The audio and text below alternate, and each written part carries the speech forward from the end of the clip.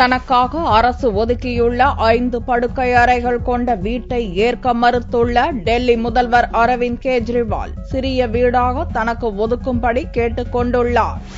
டெல்லி முதல்வர் அரவிந்த் கெஜ்ரிவால் தற்போது காசியாபாத்தில் உள்ள அடுக்குமாடி குடியிருப்பு வீட்டில் வசித்து வருகிறார். முதல்வராக அவர் பதவியேற்றதை தொடர்ந்து தனக்கு ஒதுக்கப்பட்ட ஆடம்பர அரசு பங்களாவை ஏற்க மறுத்துவிட்டார். இதையடுத்து டெல்லி பகவான் தாஸ் சாலையில் ஐந்து படுக்கை அறைகள் கொண்ட டியூப்ளெக்ஸ் வீட்டை அதிகாரிகள் தேர்வு செய்தனர். அங்கும் குடியேற அரவிந்த் கெஜ்ரிவால் மறுத்துள்ளார். மக்களுக்காக பணியாற்றவும் எளிமையாக இருப்பதையும் கடைபிடிக்க விரும்புவதாக கூறியுள்ள கெஜ்ரிவால் அதற்கேற்ப எளிமையான வீட்டை தேடித் தருமாறு கேட்டுக் கொண்டுள்ளதாக கூறியுள்ளார் जिस घर में मैं शिफ्ट हो रहा हूँ उस घर को लेके काफी कंट्रोवर्सी हो रही है और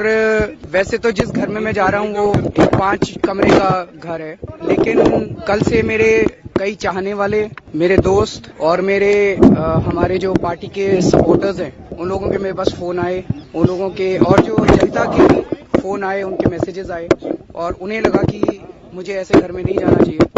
तो मैं ये दोनों घर छोड़ रहा हूँ और मैं सरकार को बोलूंगा कि वो मेरे लिए कोई और इससे भी छोटे घर ढूंढने की कोशिश करे तब तक मैं गाजियाबाद से